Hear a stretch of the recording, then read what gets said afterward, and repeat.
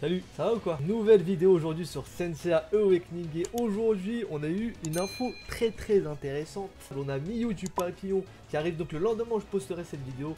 Miyu qui est un perso qui est vraiment extrêmement fort, il a une immunité au contrôle, un double tour euh, sans avoir besoin de Luna ou Chunades, des dégâts incroyables, enfin bref, un perso vraiment fou. Et donc on va aller voir tout ça ensemble. Mais comme vous le savez, euh, j'ai fait des invocations sur Shonades, je l'ai pas eu, j'ai lâché une première euh, partie des invocations, 120, 130 invoques, je sais plus trop. D'ailleurs, si tu les as pas vus, c'est sur le bouton I juste ici. Et j'ai continué comme euh, d'habitude à lâcher mes 40 invocations par jour pour savoir euh, bah, si j'allais le drop tout simplement pour récupérer des éclats accessoirement pour l'avoir à la fin. Je vous mets la petite partie donc des invocations que j'ai fait un matin.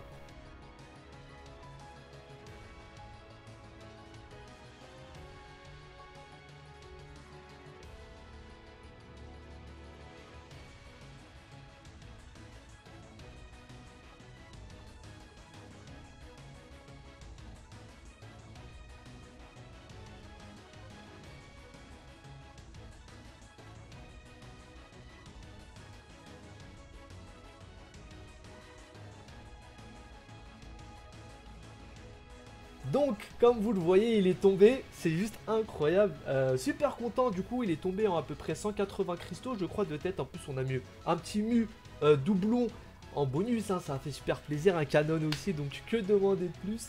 Et voilà, c'est plutôt cool. Sans attendre, on va aller tout de suite euh, sur le jeu.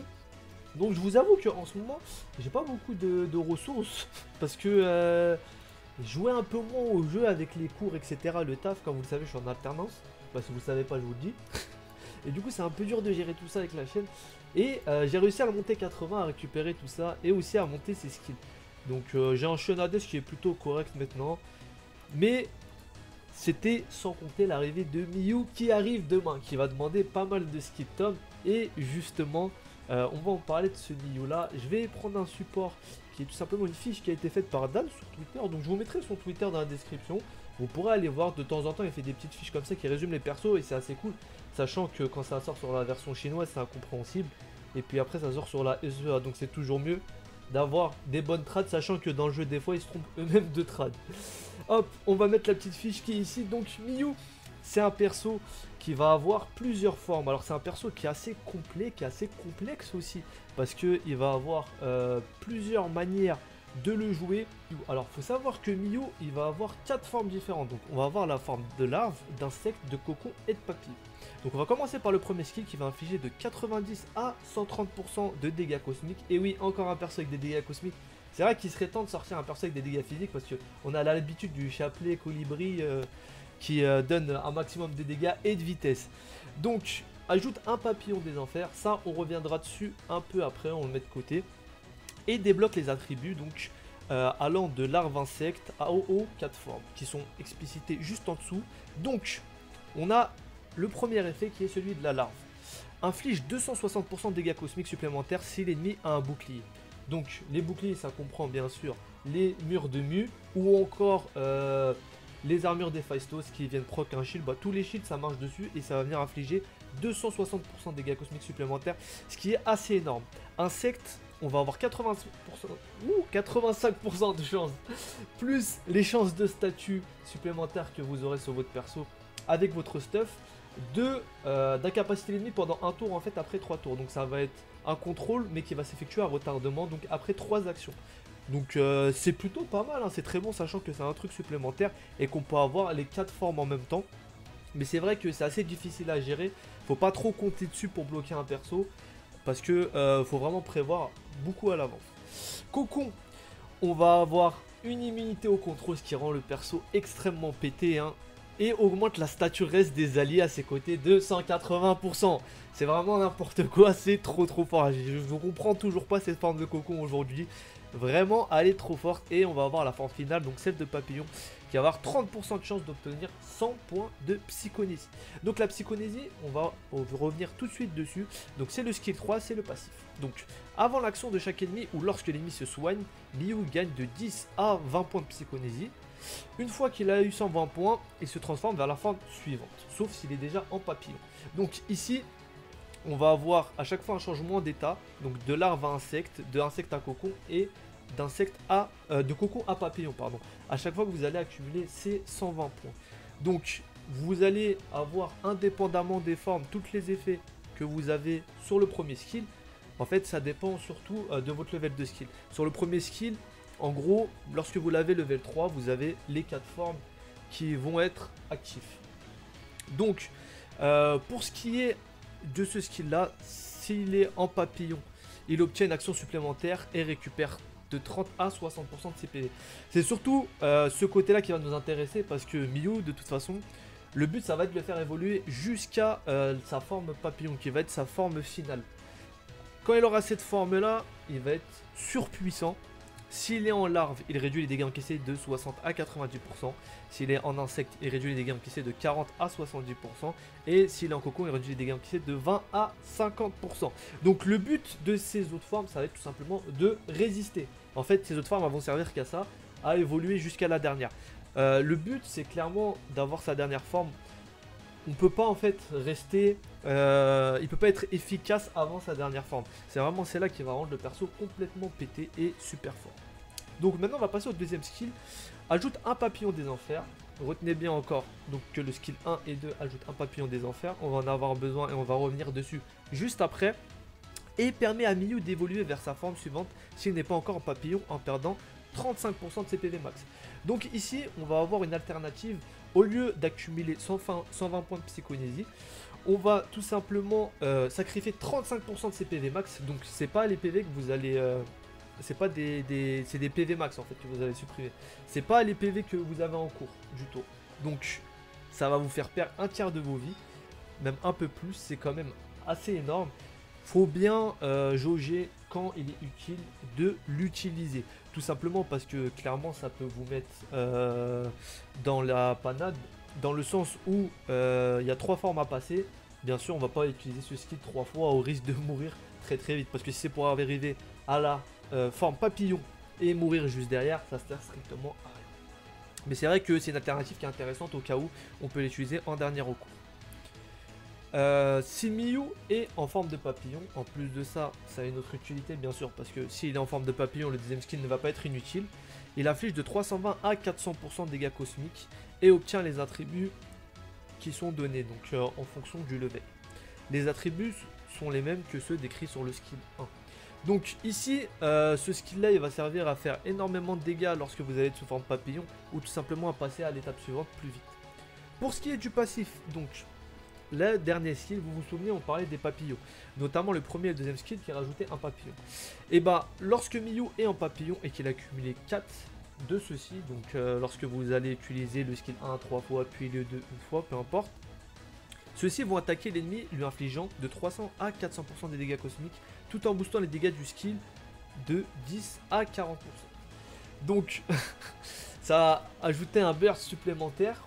Donc, si vous suivez bien, on va avoir déjà les 4 premiers effets qui vont s'appliquer. Donc, celui de la larve, l'insecte, le cocon, le papillon, à condition que vous ayez le premier skill au level 3.